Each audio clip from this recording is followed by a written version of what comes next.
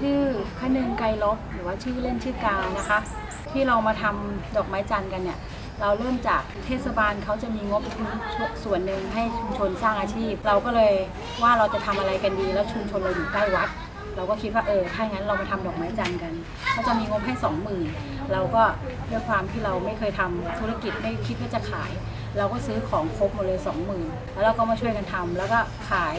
ตอนแรกก็ได้ร้อยละห้าสิบบาท ก็เริ่มทำไปเรื่อยๆ ไม่ได้ฝึกไม่ได้อะไรจากการสอนหรืออะไรก็ทำกันเองแล้วพอมาเรื่อยๆ ก็ทำบ้างไม่ทำบ้างวัสดุอุปกรณ์ก็ยังเหลืออยู่ แล้วพอมาปี 60 มีงานพระราชพิธี ก็เลยถามสมาชิกว่าตอนนี้เรามีงานดอกไม้จันทร์ ที่เราต้องช่วยเราช่วยกันทำไหมเขาก็บอกว่าทำถ้าอย่างนั้นก็เราก็เอาอุปกรณ์ที่เรามีอยู่มาฝึกมาหัดทำกัน แล้วพอดีเขาจะมีการสอนดอกไม้ที่จะถวายจะมีแต่ละแบบเขาจะมีแบบมาให้ เราก็ไปเรียนมีวิทยากรมาสอนตอนนี้พอเราเรียนเสร็จทำงานพระราชพิธีเสร็จเราก็มีความรู้แล้ว เราก็อยากทำดอกไม้จันทร์สวยๆที่แบบว่าจำหน่ายได้ขายได้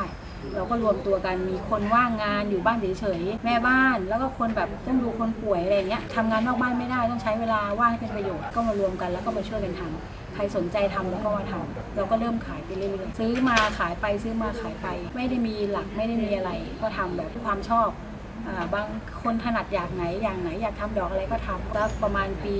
61 ต้นต้นปีเราก็ทำงบเราของงบกองทุนรถไฟฟ้า เราไม่ได้ระดมทุนเราของงบเราทำโครงการ แล้วก็อบรมคนในชุมชน